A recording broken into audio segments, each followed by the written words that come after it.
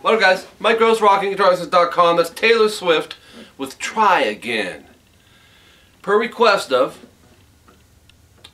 Taylor Swift fans. How's that?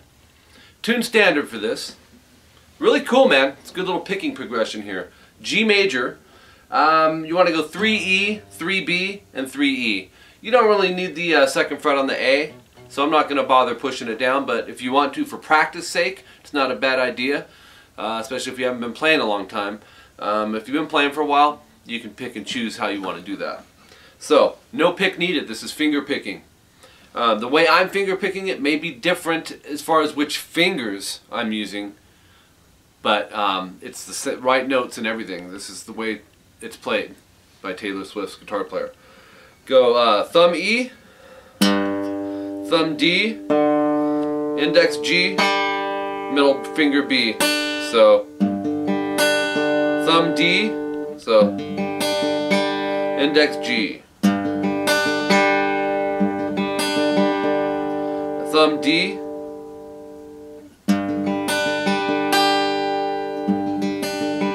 And then middle finger high E. So slow down, it's and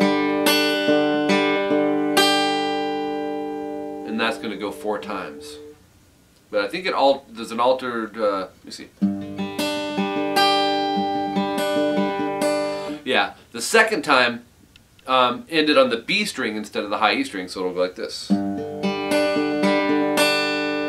So listen to this in context. That last note, okay? You're to do that four times.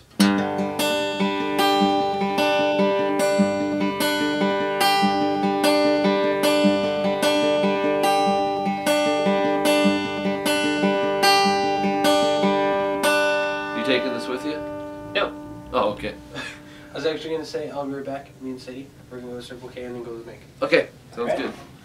Hello, you two. Hello, you two. That's Anthony, and he came in here because it's his guitar. Mike's awesome. Anthony's awesome too. All right, next part. Um, you're going to go to. Uh, now, I believe it was four times of of this. You'll do that four times. Then when it changes, you drop to C add nine and what you do is take your middle finger, go 3A, first finger 2D, and leave the pinky and third finger where you have it. And uh, it's real common to go from a G major to this chord. I can't tell you how many songs, there's tons that do this. Um, it's kind of the same concept here. Okay, less string skipping because we're dropping to the A string for our root. Go thumb A, thumb D, index G, middle finger B. Now, you know, you could go thumb, index, middle, ring. That's fine. Either way. Then thumb D, index G, thumb D, and middle finger high E. And that one you do four times.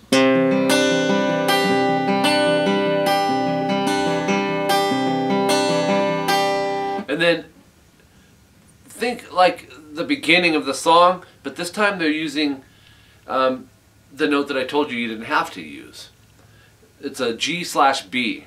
So second fret on the A string with your first finger, leave your pinky and third finger where they're at. And you'll go.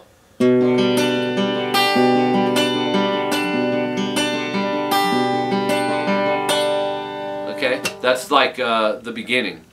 A, D, G, B, D, G, D, E. And then the second time through, don't end it on the high E, end it on the B. And I didn't explain the fingers because I think you get the idea at this point on the fingering.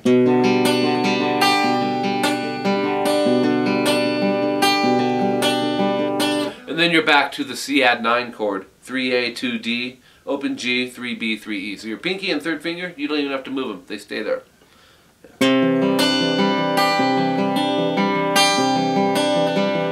That was three times, right? And then you just hit the A string and let it ring. Okay, so let me play just that part.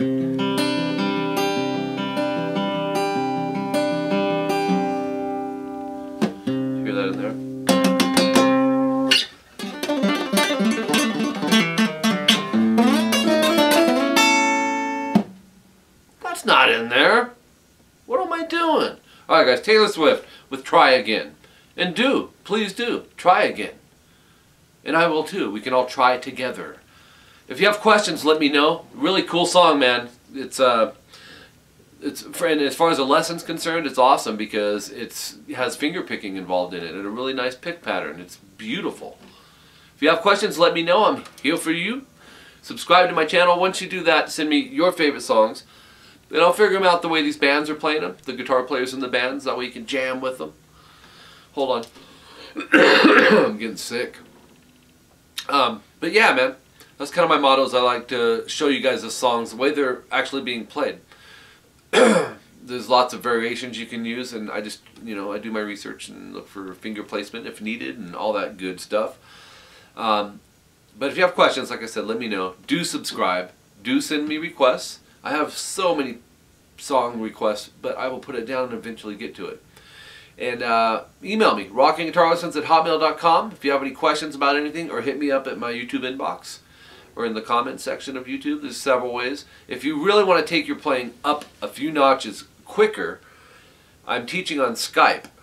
And my Skype name is Rockin' Guitar Lessons. Send me a request. It's $50 an hour, $25 for a half an hour. And uh, only add me if you're going to be taking lessons with me. All my Skype students from around the world, or all my Skype friends or students from the United States and around the world. So it's just easier for me to know everyone on my Skype. I don't want to like start questioning like who's this person? What's you know? If I know that they're a student of mine, I won't sound stupid going, hey, what, what days are lesson or whatever, you know.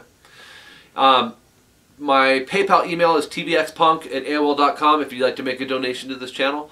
It really uh, frees me up to be more exclusive to get to these requests even quicker. I love doing this, you guys. I'm going to keep doing it regardless, but um, any help that is offered is much appreciated. If you can't, don't sweat it. Don't feel bad. Um, just keep coming. Spread the word about Mike Gross, rockingguitarlessons.com, and youtube.com slash rockingguitarlessons1. Take it easy, guys. See you later.